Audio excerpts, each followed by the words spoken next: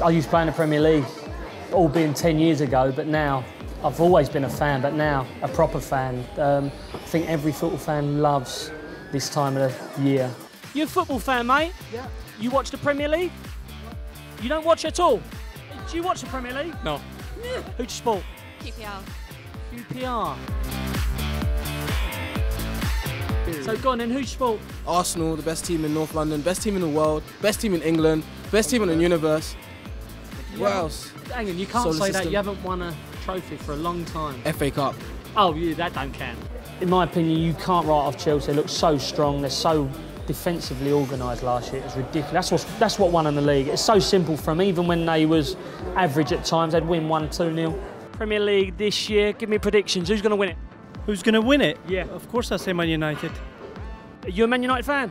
Are you really? What? You live in London? I live in London. I'm a United fan. I know you're looking at me like that. See, the thing is, like, I think I'm going to say something and then it's going to be some huge. Doesn't like, matter. Um, You just come up with any team you want, I mean, as long as they're in the Premier League. Let's see uh, where this takes us. obviously. You're going to I go Chelsea? Yeah, because I Can't have them. They won it last year. Who's going to win it? Man United. United. Of course. Uh, Fulham, yeah. Uh, Tottenham is They're not even in the Premier League. What's the matter with you? Man City. Think City. Yeah. Pep's going to bring it home.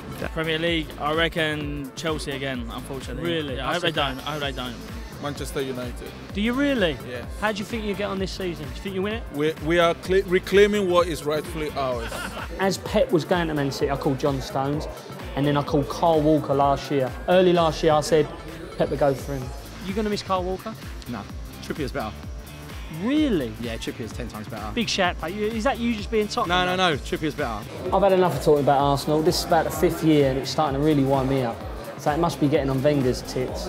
Lacazette, I feel like he will be a great striker. I watched his YouTube compilation, and he's like the greatest striker of all time Yeah, but on YouTube. Like, I've looks got a great good. YouTube compilation. I know you do. See, I'm a middle ground man, and everyone's saying to me, Arsenal, Wenger's got to go. You one of them? Stick with Wenger? Got to stay with Wenger. 20 years. I'm a fashion icon, I know that. But Pep, he's just, if he had hair, he'd be the boy, wouldn't he? Conte's Barnet on top of Pep's head. I can't imagine that. I can't imagine that. You've seen the Continental managers over on the continent when they wear just jeans, just Wrangler jeans and a t-shirt. That's the look, isn't it? I always think if he was a manager, it would be tracksuit or suit. I think Pulis, when he got always, What, hang on a minute. What else can you wear? Can't go with a pair of Bermudas, can you? No, what would you do, Jimmy? I'd wear a pair of dungarees or something. Yeah. Pep Guardiola has the best swag. Like he, his suits are so crisp. He They're is the- naughty, innit? Ah, oh, they're proper naughty.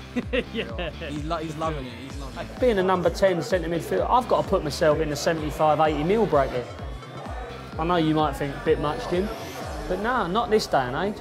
I went for 5 mil, seems like 30 year ago.